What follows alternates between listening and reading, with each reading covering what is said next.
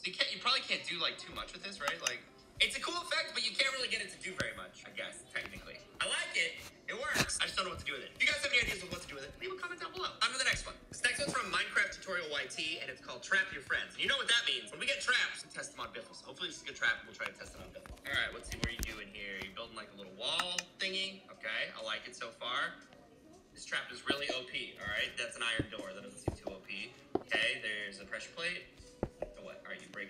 pressure plate. I like it.